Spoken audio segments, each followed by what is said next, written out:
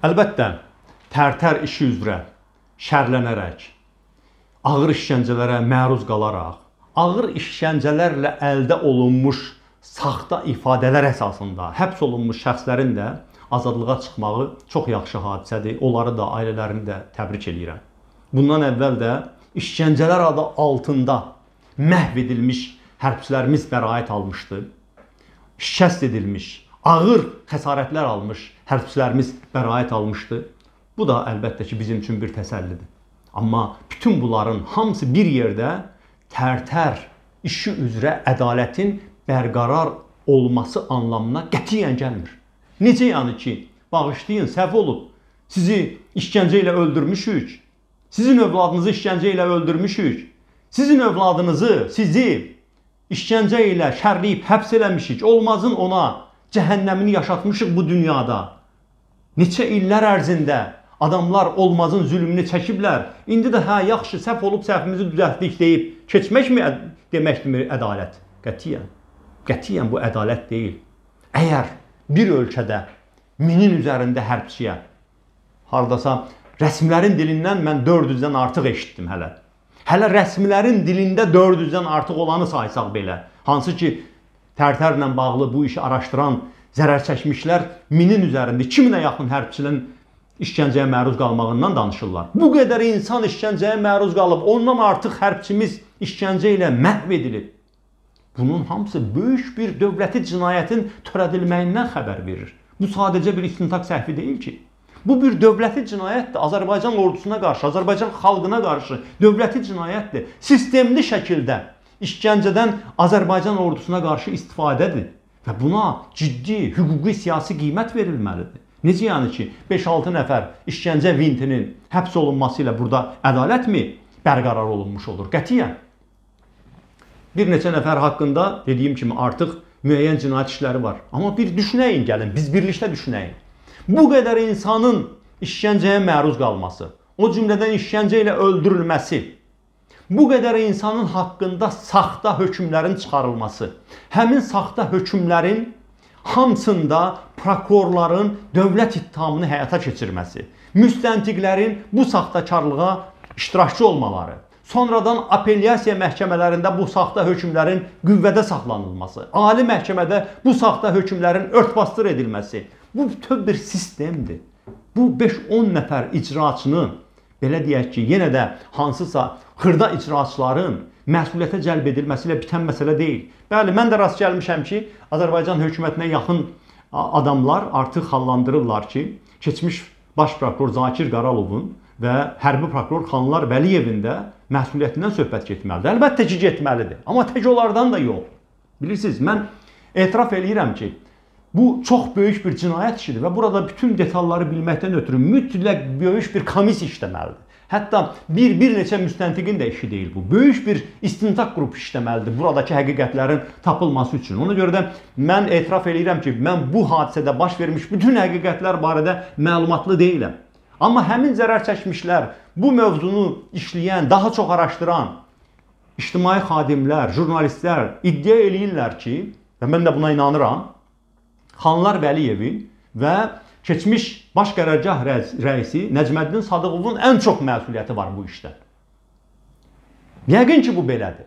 Çoxsaylı e, adamlar bu mövzunu araşdıranlar və o cümlədən zərər çəkmişlər məhz belə iddia edirlər. Amma mən sizə bir şey deyim. Hətta o adamlar da tək başına bunu eləyə bilməzdi. Baxın, onlar kifayət qədər yüksək vəzifəli şəxslərdir. Söhbət hərbi prokurordan və ordunun baş qərargah rəisindən gedir.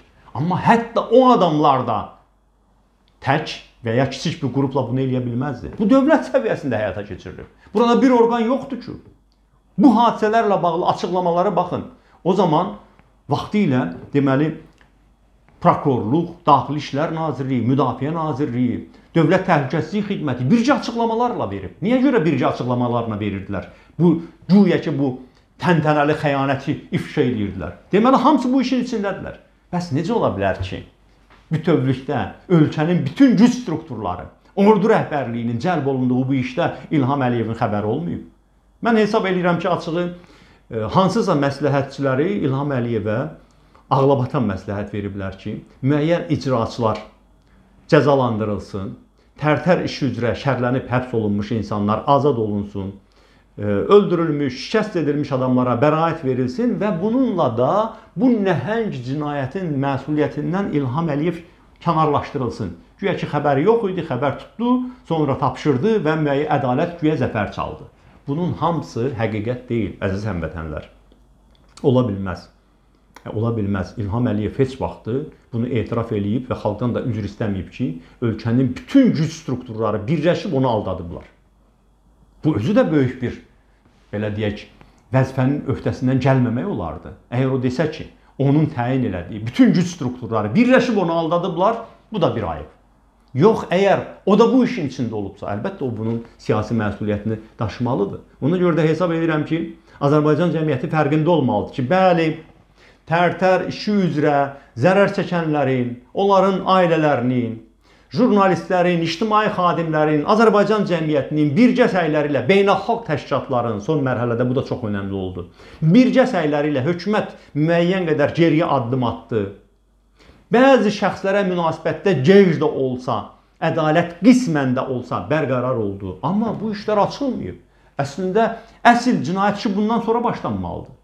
Necə olub ki, Azərbaycan dövlət orqanlarının daxilində belə bir böyük bir cinayətkar şəbəkə olub? O müstəntiqi də, deməli təhqiqatçını da, əməliyyatçını da, prokuroru da, hakimi də, apellyasiya məhkəməsinin hakimini də, ali məhkəmənin hakimini də necə təsir altında saxlayıb? Necə olub ki, Azərbaycanın hüquq mühafizə orqanlarının yüzlərlə əməkdaşı həmfikir olaraq böyük bir ədalətsizliyin, Azərbaycan ordusuna qarşı bir qətliamın icrasında iştirak ediblər. Necə olub ki, ordunun rəhbərliyində bu cinayəti törədən adamların bu qədər böyük bir şəbəkəsi olub. Əsl bundan sonra tərtər işi ilə bağlı ədalət araşdırılıb ortaya çıxmalıdır. Ona görə də hesab edirəm ki, bu günə qədər olan əslində tərtər cinayətləri üzrə ortaya çıxmalı olan həqiqətlərin, gerçəkliklərin hələ bir az bir qismidir. Əsl iş bundan sonra başlamalıdır. Və mən açıq o fikrimdə qalıram ki, əlbəttə ki, nə qədər ki bu rejim qalır, həmin tərtər işi üzrə ədalət birmənalı şəkildə bərqərar ola bilməz. Yalnız İlham Əliyevdən sonrakı xalq hakimiyyəti bu işi axıra qədər çözə bilər. Axıra qədər düzgün istintaqını apara bilər. Kollegial qaydada, çox böyük istintaqçı qrupunun iştirakı ilə şəffaf qaydada və bu prosesə hüquqi və siyasi qiymət yəqin ki, gələcək hakimiyyət tərəfindən veriləcək. İndi isə əlbəttə ki, mən küçümsəmirəm. İndi də davam eləmək lazımdır. Azərbaycan hakimiyyətindən tələb eləmək lazımdır. Bu gün kimləri məsuliyyətə cəlb elətdirmək mümkündürsə, cəlb elətdirmək lazımdır. O cümlədən tərtər işi üzrə məsələni araşdıran ictimai xadimlərin, zərər çəkmişlərin israrla tələb elədiyi vəzifəli şəxslər hamılıqla cəzalandırılmalıdır. Amma biz xalq olaraq unutmamalıyıq ki, Tərtər üçün ədalət hələ də bərqərar olmayıb və nə qədər bu hakimiyyət qalır, hələ də bərqərar olmuş olmayacaq.